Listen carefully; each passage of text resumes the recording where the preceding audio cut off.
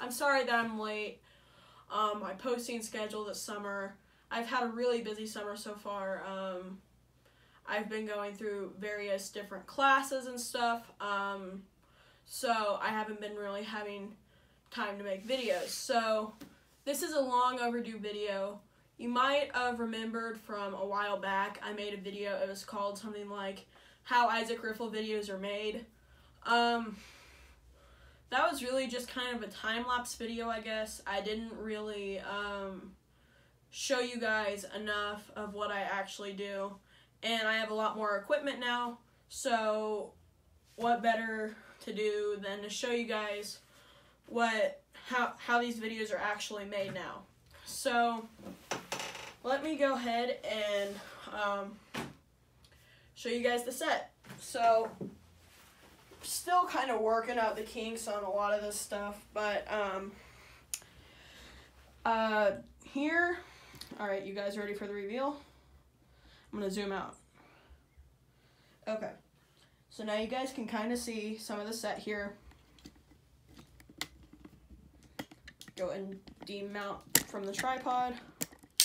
Okay, so here is the main shooting set right up here. So these are my um, two really important lights. These uh, this is my um, table space light for when I'm doing hands-on review um, that can shine perfect light onto the table. And this is my backlight umbrella light, which like shines light onto my head and um, like my shoulders. So what's right here, what this is, um, this is my interchangeable background. I have three different colors. I have white, green, and black. I'll um, lower the other ones for a second. Um, and then when we look over here, it's pretty basic, okay? So, this is one of my big lights. This is um, for like facial lighting. Um, pretty important. It's just tripoded in right here onto this shelf. Um, like, there you go. Um, this is just storage for various technical stuff. Um, here's kind of like a white table backdrop. Um, up here is just kind of more project stuff that I have stored here bunch of like uh, video cables and a microphone in that bag. Um, this is my quick edit and video management computer, um, which means if I have to make a quick edit to a video, I can do that quickly, um, straight from here from the um, from the camera, and then I can um, uh, I can pull up scripts on this or you know do whatever I need to. Um, so yeah, this is that. So we have a tripod here. This is just a Amazon Basics tripod. Actually have it mounted up on books because it was not, um, get on that book. It was not tall enough from the factory to, shoot, to actually um, work properly in the set. Okay, so this is another important light. All the lights are pretty important. Um, it's another kind of uh, facial and overall lighting situation. And here's some of the kind of funny stuff, I guess. So, right here, you might notice this little mirror. So, you can see here, this is indeed a mirror. Um, and let me show you kind of what the point of this mirror is. So, when I come back here onto the set, let me just kind of show you my point of view. If I look directly into this mirror right here, I can see exactly what the camera sees perfectly. I can see my face, I can see the viewfinder. It's like uh, no power consumption, super cheap video monitor that I just had to place in just the right spot. So that's really cool. I, I really like having that. Okay, other things. So this is kind of like um, just my main recording area. It's just a table with, this is actually a piece of bed sheet on it. Um, I don't have a white backdrop big enough for this. And here, this is where I can put video pieces here, like if I was doing iPhones, I could put iPhones here before I bring them into frame here. Uh, so I have this table here. Um, up here, this um, this blue uh, thing right hanging above the door there.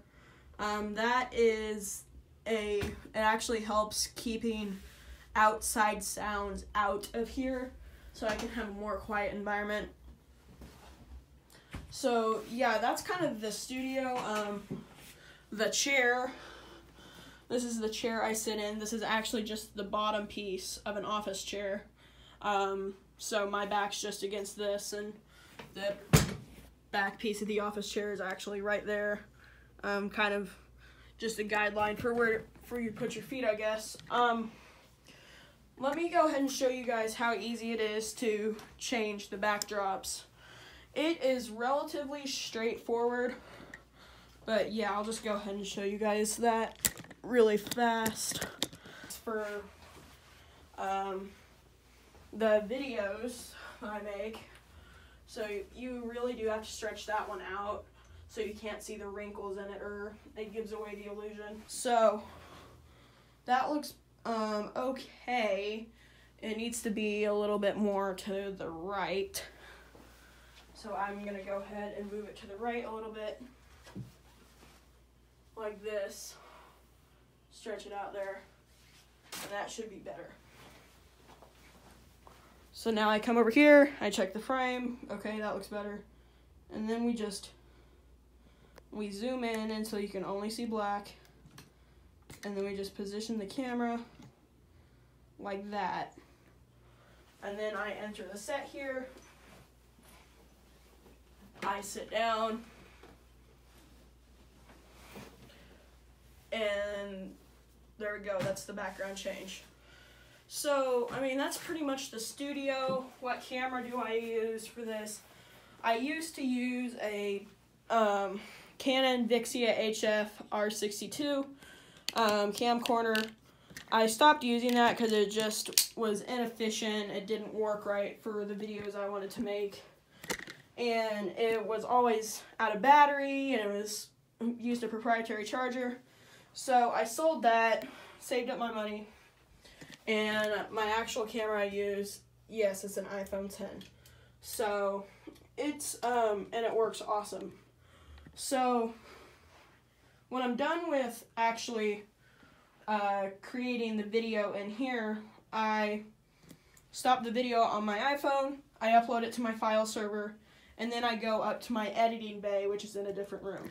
So this is where I edit my videos at. Yes, I'm using a PC. This is an Apple channel. I know, don't hate. The only reason I am is because I can't afford a Mac that's nice enough to use the editing software that I use without being a total crap fest. So the reason I use this computer, also typical Windows, always doing this without asking me, um, it's got the Intel i7 processor and all my Macs have Core 2 Duos, so that's just, I mean, it's just kind of a reason why I can get things done faster and better, so, yeah, um, don't worry guys, I got plenty of Macs, still got the Apple Pride, always will. Oh look, it just started up. So now I'm gonna go ahead and drop the files and start editing. Okay, so then I come up here, I open my Premiere Pro right here, and these are the files from last night that we made. We're gonna go ahead and add them into a Premiere bin over here. So we'll just do zero one video, and then we'll just drop the videos into here. Pretty straightforward. Um, and you know we'll also do that with images and intros and stuff like that. So here we go. Go ahead and put this into time lapse